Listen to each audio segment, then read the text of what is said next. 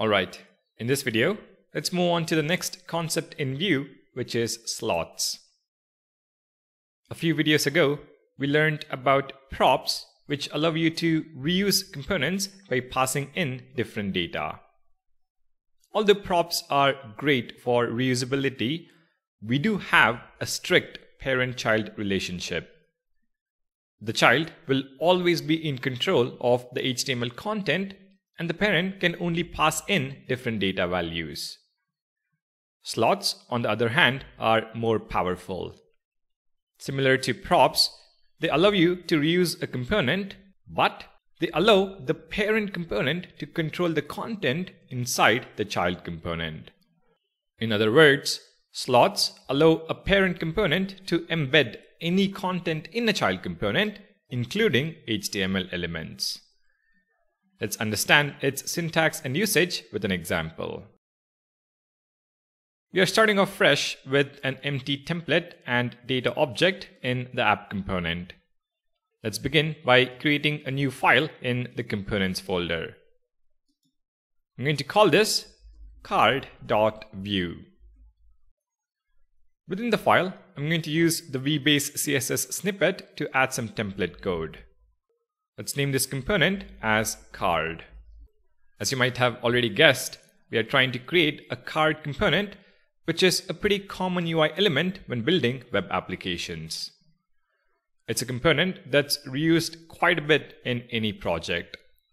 For our card component, I'm going to begin by adding a class on the div tag called card.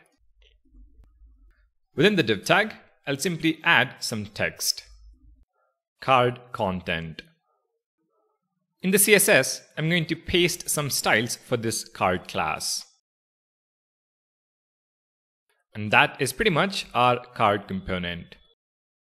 Let's include it in app component.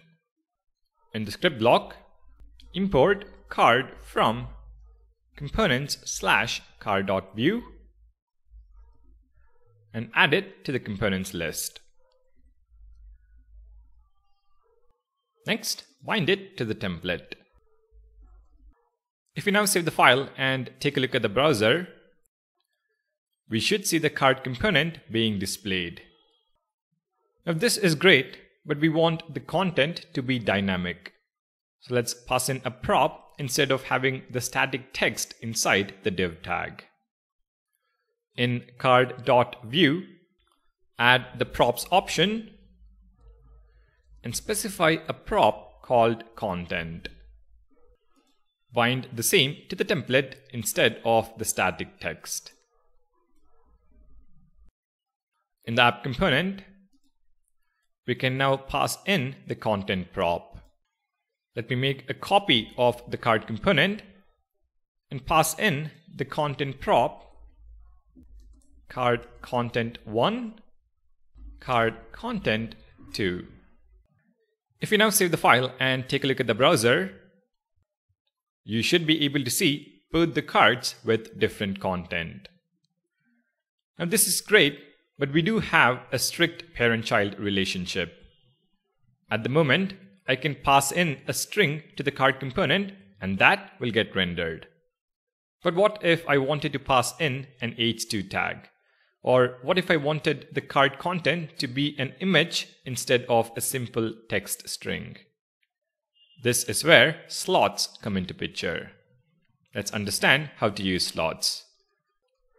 Begin by getting rid of the prop we have just added.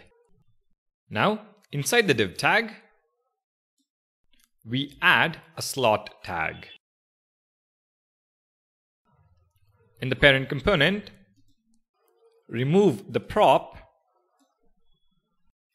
and instead add a closing tag for the card component.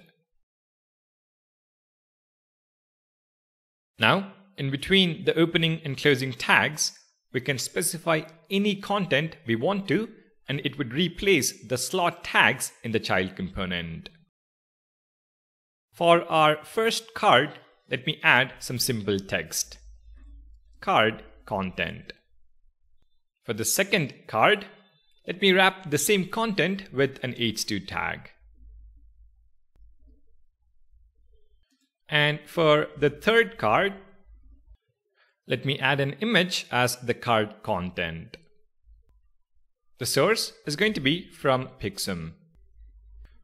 And the image is going to be 200 by 200.